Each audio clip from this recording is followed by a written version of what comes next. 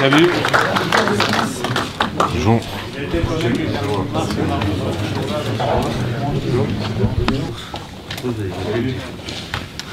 En parlant avec lui, je me suis dit que par rapport à des choses qu'on est en train de faire, ce serait sympa qu'il passe euh, nous dire bonjour. Donc évidemment, il ne voulait rien savoir. Et après, je lui ai dit s'il voulait parler au mec, évidemment, il n'était pas super chaud. Parce qu'il m'a dit, je ne vais pas raconter un truc. J'ai dit non, je, je sais ce que tu ce que tu penses de ces clubs, ce que tu ressens pour ces clubs. On se connaît bien, on est, on est amis euh, depuis très longtemps.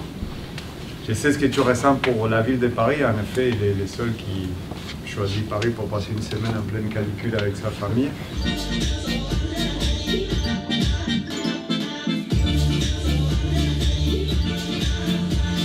Après, on avait des années avec des, des très gros, gros joueurs, d'énormes joueurs, et qu'après on a fini, je ne sais pas, dixième dans le championnat, et peut-être des années qu'on n'avait eu pas les, les meilleures équipes, et je crois surtout en 2004, non, euh, 2007, même il jouait Julian Arias dans cette équipe.